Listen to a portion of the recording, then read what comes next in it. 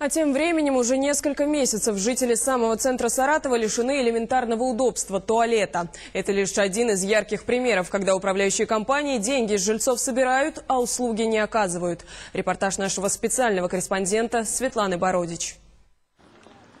Проспект Кирова, 15, несколько старых домов под разными литерами в самом центре Саратова, буквально в двух шагах от консерватории. Все удобства во дворе. Так всегда было. Вот, например, туалет, знакомые буквы. Еще меньше года назад он работал. Чисто было хорошо, все побелено. Все пользовались? Все пользовались, ходили, убирались. По всему двору зацементировали весь вот, канализацию, всю канализацию. Всю.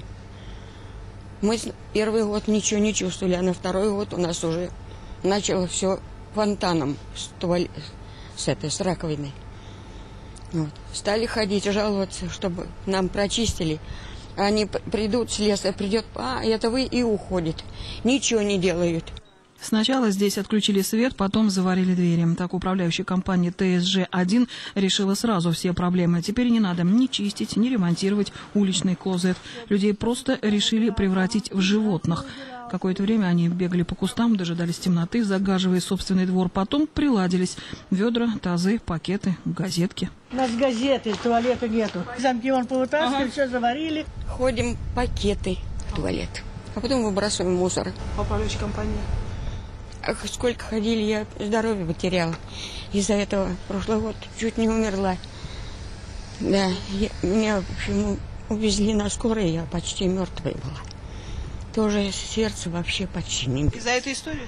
Из-за этой истории. Тамара Петровна показывает свой полуподвал. Огромные трещины и все в темно-серых пятнах. Все обвалилось от сырости. Над нею Андрей с женой и маленьким ребенком, как и другие, научились справлять естественные надобности полуестественным способом. Вечные ведра и пакеты, зловонные свертки на мусорку.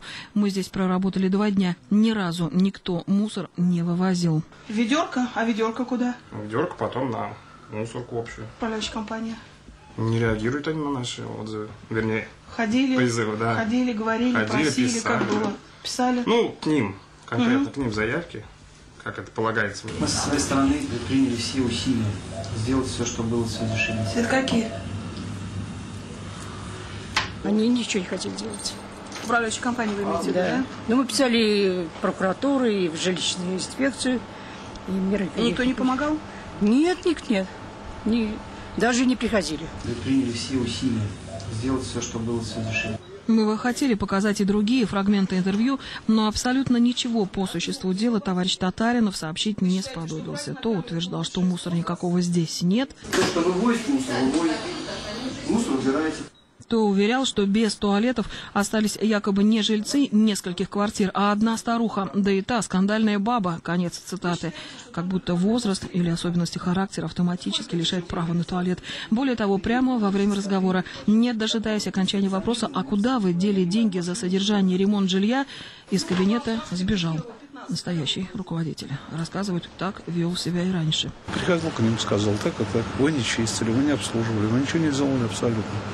То есть никакой технического, технического обслуживания не было. Там, не говоря уже о том, что там какие-то там э, капитальные ремонты, об этом даже разговора нет. И они просто скрывались и все. Сколько таких еще Татариновых бегает от жителей, и когда кто кого догонит, непонятно.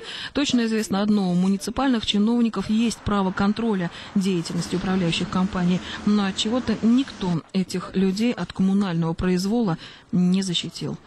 Так что проспект Кирова, 15. Налево в консерваторию, прямо в арку на склад фекалий. Евгений Крылов, Павел Криклевец, Светлана Бородич, Вести, Саратов.